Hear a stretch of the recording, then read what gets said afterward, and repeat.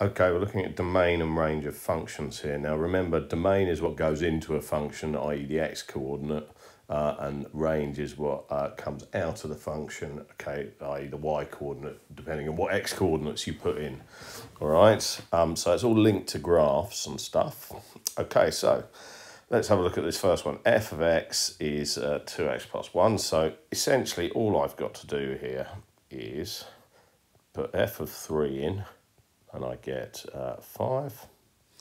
Okay, and so therefore the the range, sorry, is going to be less than 5 because, right, if I put 2 in, it's going to be less than 5. So anything I put in, if x is less than or equal to 3, it's going to be less than or equal to 5 because when I put 3 in, I've got 5. Anyway, now, the, so when it's a straight line, they're fairly obvious, right, and fairly easy. The issue is that when you get a function something like this, now this function is a parabola, isn't it? And it looks something like this. I'm just going to draw a really rough sketch.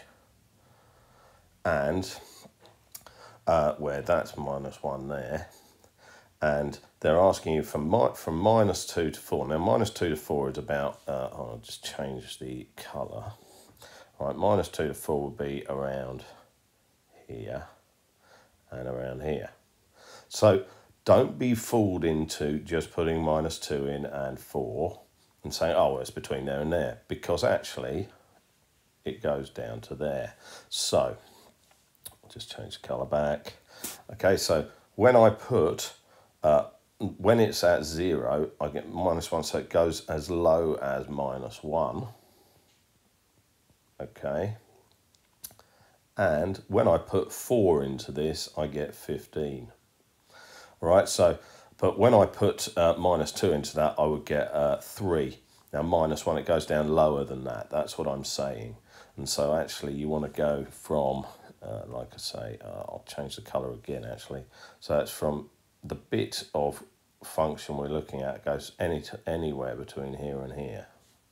Okay, Whereas if you put minus 2 in, you will be fooled into thinking it's just that goes down to this point here.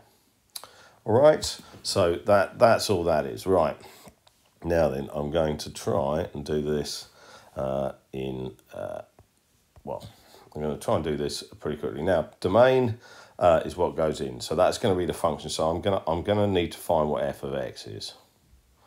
All right, range, however, they've kind of already done for us because um, they've already said that it goes between y equals 3 and y equals 5. So actually,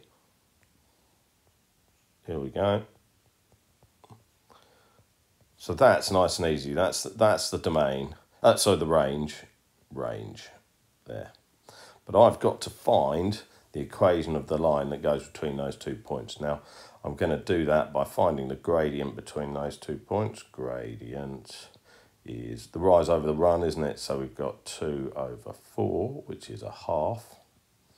And then I'm going to put, uh, let's uh, change that. So I'm going to substitute into y equals mx plus c. I'm going to substitute um, uh, y equals, which point shall I use? 3. m equals a half. And x equals uh, 4. So that's how I'm going to get uh, 3 equals a half, y equals mx plus c. This is to find what c is. And so 3 equals 2 plus c. Right, so c is therefore 1. Okay, and I'm going to then write, and I need to change colour again. Okay, so therefore f of x equals a half x plus 1. Okay, or you could write that a number of ways, couldn't you? Uh, you could write uh, x plus 2 over 2, that would do as well. Okay, but there you go. So that's that's all those mean. So it, it's all skills that you've seen before, okay, i.e. substituting in and finding equations of lines and stuff like that, right? But uh, they're dressed up in a slightly different way.